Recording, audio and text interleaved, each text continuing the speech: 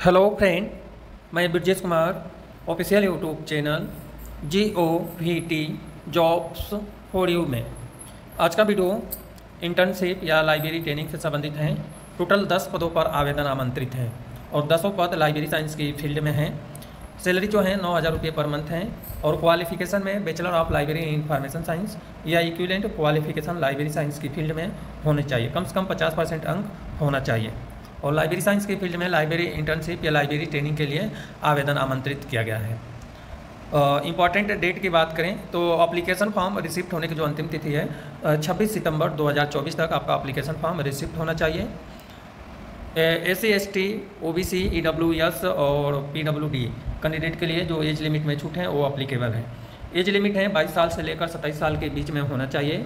Age limit में जो छूट है गवर्नमेंट ऑफ़ इंडिया के अनुसार वो अप्लीकेबल हैं। सैलरी तो आपको मैं बता ही दिया हूँ कि नौ हज़ार रुपये पर मंथ सैलरी है, जो अप्रेंटिस एक्ट के थ्रू जो सैलरी है वही मिलेगा।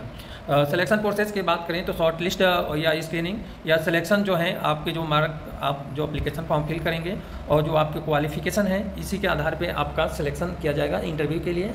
हो सकता है कि इंटरव्यू में आपको ऑफलाइन हो या ऑनलाइन इंटरव्यू का इसमें ज़िक्र किया गया है। हो सकता है कि ऑनलाइन इंटरव्यू आप घर बैठे जूम के थ्रू दे सकते हैं। जूम के थ्रू या जो भी प्लेटफॉर्म हो गेटवे हो, उसी के थ्रू अब आपको क्या करना है कि यदि आप 10 पद के लिए इंटर्नशिप के लिए इंटरेस्टेड हैं तो आपको क्या करना है कि एडवर्टाइजमेंट को अच्छे से पढ़ लेना है। अच्छे से पढ़ने के बाद आपको अप्लीकेशन फॉर्म फिल करना है। इसके लिए आपके पास क्या चाहिए? Valid mobile number Gmail ID apply करने से पहले होना चाहिए। अप्लीकेशन फॉर्म फिल करने के लिए आपको वेबसाइट पर जाना है और वहाँ से जाकर अप्लीकेशन फॉर्म फिल करना है। सबसे पहले N I T S portal पर आपको रजिस्टर करना पड़ेगा, उसके बाद ही अप्लीकेशन फॉर्म फिल करना पड़ेगा। यूट्यूब में N I T S portal पर रजिस्ट्रेशन कैसे करते हैं या डिटेल जानकारी तो आप देख सकते हैं। यूट्यूब पे बहुत सारे वीडियो पड़ा हुआ है, जो आपका सिलेक्शन होगा और जो सैलरी मिलेगी अप्रेंटिसशिप एक्ट 1961 के अकॉर्डिंग आपको सैलरी मिलेगी और इसी के अनुसार आपका सिलेक्शन भी होगा। तो इस तरह से आपको क्या करना है कि वेबसाइट पे जाना है।